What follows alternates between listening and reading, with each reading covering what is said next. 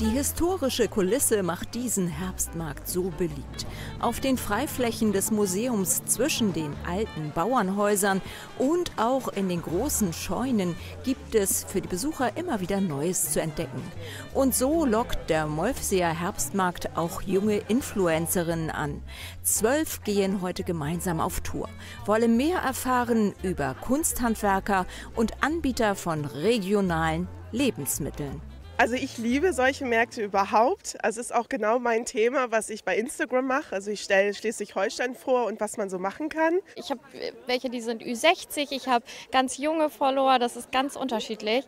Aber hauptsächlich dann eben das Familienthema und dann ist natürlich gerade so ein so ein Familienevent auch schon spannend für jedermann, würde ich dann sagen. Hauptorganisatorin des Herbstmarktes ist Johanna Friese. Sie freut sich über den diesjährigen Ausstellerrekord. 147 Stände verteilt auf dem rund 20 Hektar großen Museumsareal. Wir gucken natürlich auch viel auf anderen Märkten und schnuppern da mal so ein bisschen. Ähm, ich habe irgendwie immer meine Augen offen in den sozialen Medien, im Internet und gucke immer mal, wer ist gerade so neu, wer kommt gerade neu raus, wer macht vielleicht was Tolles. Ein neues Highlight, der Markt der Nordbauern. 15 Landwirte, die ihre Produkte selbst herstellen und direkt vermarkten, stellen sich hier vor.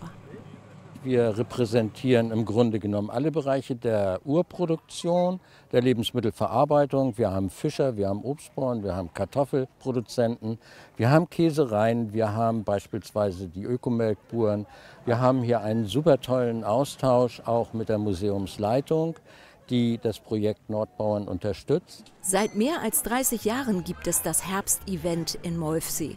Viele Besucher kommen jedes Jahr vorbei. Das Marktkonzept ist eben rundum stimmig. Das Ganze, die ganze Atmosphäre ähm, für die Kinder ist was, für uns ist was, also im Ganzen. Viele schöne Essenstände, das ist so der Grund. Das Wetter spielt natürlich auch mit.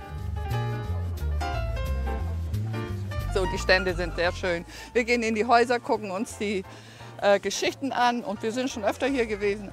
Der Herbstmarkt in Molfsee hat bis zum 8. Oktober täglich von 9 bis 18 Uhr geöffnet.